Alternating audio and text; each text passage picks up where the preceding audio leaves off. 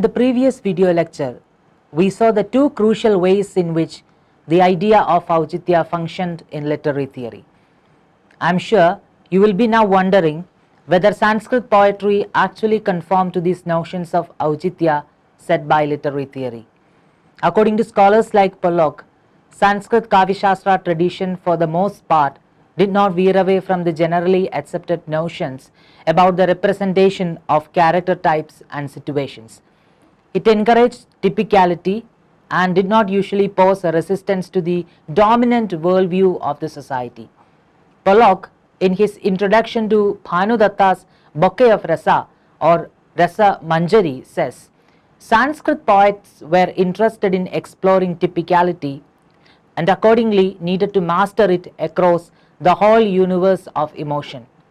How were women expected to act when first falling in love, when confronted by an act of infidelity on the part of their lovers, when desiring someone other than their husband? To answer such questions, a discourse across, arose that aimed to construct a typology of character. This typicality in the representation of character types and situations was maintained throughout the history of Sanskrit Kavya Shastra, uh, primarily through the process of Kavi Shiksha or the formal training of poets. Formal education in the art of composing literature was absolutely compulsory in the Kavya Shastra tradition in Sanskrit. The exponents of Kavya Shastra propagated the view that a Kavi, even if he was naturally endowed with the talent of composing poems, will have to remain in, will remain incomplete as a creative writer in the absence of a proper training or shiksha. Thus, Kavi was made to undergo a conditioning process before the production of Kavya. It's a truism that Pratibha or inborn genius was often privileged over Vyutpatti or training. But Vyutpatti was indeed an unavoidable element in the making of a poet. Writers from Bhamaha onwards talk about the importance of formal training in Kavya. Bhamaha opines that the desire to compose Kavyas could be entertained only after mastering all Shastras necessary for the composition of literature. Dandin is of the view that just as a blind person is incapable of differentiating between different colors, so also a poet devoid of training cannot distinguish between poetic merits and excellence. He observes that even if a person falls short of pratibha, he or she can excel in the art of composing kavya through sheer training. Vamana uh, is of the opinion that an aspiring poet should get trained in literary science to distinguish between poetic merits and poetic faults. As far as he is concerned, even if one is naturally endowed with poetic genius, he should definitely undergo a formal training before writing kavyas. According to Mammata, kavya is the result of knowledge born of a study of the world, of sciences and of poems and the teachings of those versed in writing poetry. Jayadeva even compares Pratibha to a seed and training in composing poetry to the soil where the seed of Pratibha grows. In his Kavya Mimamsa, Rajashekara says, the prior knowledge of Shastra is essential for an appreciation of Kavya. Just as nothing is visible in the dark without the aid of light, so also no poet can create without the knowledge of Shastra. In Sahitya Mimamsa, Mankha says that a Kavi should be endowed with three essential prerequisites such as instruction or Shruta, practice or Abhiyoga and poetic genius or Pratibha Shakti. All these testify that one was not born a poet but made a poet. It should be noted that although learning of rhetoric and prosody was very important, it was not the only uh, uh, aspect of Kavishiksha. Kavishiksha also meant learning of other arts and sciences such as Kama Shastra or theory of erotics, Artha Shastra or the theory of politics, Moksha Shastra the theory of salvation, etc. These texts codify the idea of propriety in various fields of knowledge in day-to-day life.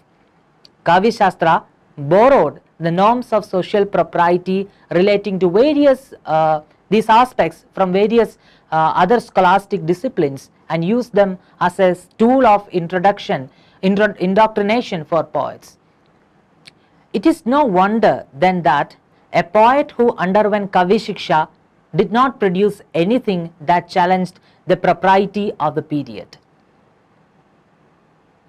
Vamana's observation about the importance of a poet conforming to the normalized truth claims of the society recorded in Shastras typifies how Kavishiksha functioned in preconditioning a poet in the way Aucitya demanded.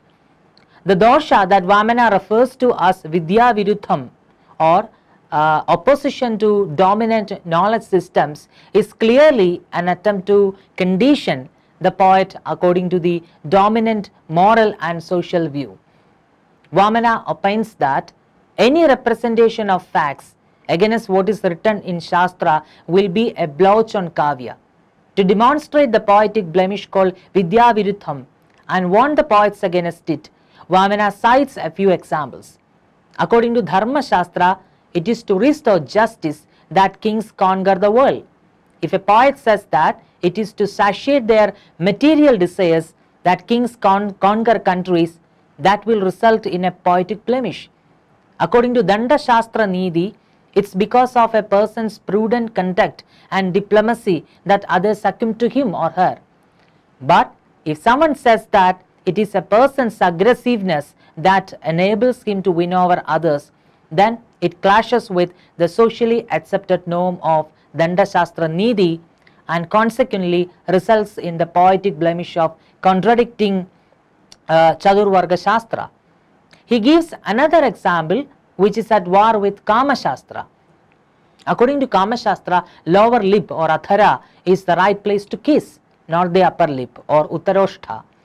Contrary to this dictum in Kama Shastra, if a poet states that the upper lip is the right place to kiss, then the poet will court a poetic blemish. Vamana's injunction that a poet should always pay heed to these Shastras, which draw a neat line between what is acceptable and unacceptable within a social framework, is something which runs through the whole system of Sanskrit poetics. The poet who got trained in the Kavya Shastra was thus encouraged always to produce the cultural artifact in the way the Aucitya preferred. We can undoubtedly say that this pedagogical practice always served as an effective tool in the Sanskrit literary circle to make the creative writers compliant and to suppress any deviant representation of character types and emotions. This kind of uh, prescriptivism not only suppressed the emergence of uh, alternative ideologies, but it also predetermined the very nature of character types and their actions even before a kavya was actually composed. In other words, even though the name and the local habitation of the characters and the objects changed from kavya to kavya, their representation was predetermined by the laws of propriety or aucitya. But its insistence on the suitability of all aspects of literature, from the word to character traits, aucitya preempted any attempt in Sanskrit literary tradition to pose a resistance to the truth claims endorsed by the society in general. To put it in uh, contemporary sociological terminology, we can say that Kavishiksha functioned as a soft power which aimed to affect others to obtain preferred outcome by co-option and attraction rather than coercion. By propagating the idea that conformity to aucitya or propriety is necessary to compose an excellent kavya and to become a creative writer par excellence, the dominant class in the society won over the creative writers to produce literary works in tune with its interests. The poets who were under the sway of the soft power of the society uh, willingly self-censored themselves and conformed to the stereotypical notions of representation prevalent in the society. The theory of Aucitya preconditioned the representation of character types and emotions and situations in Kavya in compliance with the interest of the dominant groups. Because Kavya often functioned as a tool to socially condition the readers in accordance with the rules of Purushartha. The term Purushartha refers to the teachings of the four goals in life such as Dharma or righteousness, Artha or wealth, Kama or pleasure and Moksha or salvation. Dharma aims to teach duties, rights, laws, code of conduct and the right way of living. Artha is concerned with the proper pursuit of wealth. Kama relates to the right way of indulging in pleasure, both sensual and sexual. And moksha takes up the question of activities that a person should necessarily perform to attain liberation. Sanskrit literary theories uh, as early as Bharata have entrusted Kavya with a deontic function apart from its primary function of aesthetic pleasure. Uh, actually, Bharata's reference to the context in which Brahma asked him to compose Natya Shastra is a pointer to Bharata's didactic philosophy of art. In response to the uh, sage's query regarding the origin of drama, Bharata says that he composed Natya Shastra to enlighten the morally degenerate people of Treta Yuga. Bharata uh, says, when Treta Yuga began, the entire world became corrupt and the people started following what he calls Gramya Dharma or indecorous lifestyle. At this juncture, gods approached Brahma and uh, asked him to create a new Veda so that people of all castes could become righteous. Thus, at the behest of gods, Brahma created Natya as a tool of didacticism. Brahma's declaration about the function of Natya which is reported by Bharata in Natya Shastra is worth exploring here. Uh, Brahma says that Natya which is uh, based on the actions of three kinds of human beings namely Uttama, Madhyama and Adhama aims to instruct the spectators of all time about everything in the world. Quoting Brahma's words, Bharata says that Natya came into being to instruct men. To show the didactic function implicit in art, Bhattatauta as recorded by Abhinavagupta in his Lochana, draws an interesting analogy between rasa, drama and the Veda. According to Tauta, rasa is the delight, delight is the drama and drama is the Veda.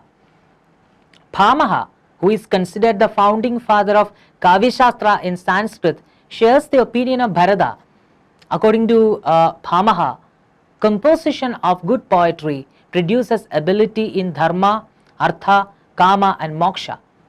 In his commentary upon Udbhata's Kavyalankara Sara Samgraha, Pradhiharendu Raja, Raja that rasa is indeed a source of in instruction. Rudrata in Kavya Alankara in fact privileges the deontic function of Kavya over its aesthetic function. He says, does not the knowledge of dharma, artha, kama and moksha reach sensitive minds easily and pleasingly through poetry. People are always wary of Shastras. Therefore, poetry contains rasa to serve the purpose of Shastras in a joyous manner. Uh, Abhinavagupta in his Lochana on Anandavardhana's Dhvanyaloka says that the study of good poetry gives readers skill in dharma, artha, kama and moksha in Vakrokti Jivita, Kuntaka also sees rasa as a means to instruct readers about the four ends of life uh, in a way that is conspicuously distinct from Shastra, Puranas and the Veda. Kuntaka's position is that while the Shastra and other allied disciplines talk about the moral duties incumbent upon men in an insipid way, Kavya performs the same function in a pleasurable manner. Kuntaka says, uh, literary artifacts such as Mahakavya create pleasure in the nobles. The noble persons like princes are supposed to learn the ends of life such as dharma. But being fickle and joyous by nature, they are reluctant to take an effort to learn them. Kavya will be like a toy to them. Therefore, they can learn dharma of life in a pleasurable way. In Kavya Prakasha, Mammata also holds the same opinion. He says poetry brings fame and riches knowledge of the ways of the world, and relief from evils, and counsel sweet as from the lips of a beloved consort. Uh, although uh, Mammata privileges deontic function over the aesthetic pleasure, uh, he in fact believes that Kavya has indeed a deontic function. According to Abhinavagupta, what lies beneath the pleasing veneer of aesthetic emotion is undoubtedly a desire to instruct and advise. For him, rasa is a sugar-coated pill for the young princes who are neither educated in scripture nor have received any instruction from history. Abhinava's observation is noteworthy here. Princes who are not educated in scripture, those words of Shruti and Smriti which consist in commands like those of a master to do this or that, and who have not received instruction from history, which like a friend reveals to us the connection of cause and effect with such persuasive inst uh, instances like this result came from such an act and who are therefore in pressing need of instruction for they given the power to accomplish the wants of their subjects can be given instruction in the four goals of man only by our entering into their hearts. And what enters into the heart is the relish of rasa the imaginative experience of emotion. Now since this rasa is brought about by the union of the vibhavas and their related factors a union which is invariably connected with instruction in the four goals of man it follows that the subjection of a man to the relishing of the rasa by a literary construction of the vibhavas, etc., appropriate to rasa serves at the same time for the instruction or vyutpatti that naturally results. In this way, literary delight is an aid uh, to instruction. Uh, in, in, in Sahitya Darpana, Vishwanatha opines that even a dumb head will be morally enlightened through their consumption of kavya. He says, since the attainment of the fruits consisting of the class of four, that is, the four great objects of human desire, merit, wealth, enjoyment, and liberation, is pleasantly possible even in the case of those of slender capacity by means of poetry only. Therefore, its nature shall be now set forth. In Sringara Prakasha, Bhoja also declares a literary artifact should be understood as a combination of sentences that informs us as to what we should do and when we should not what we should not do.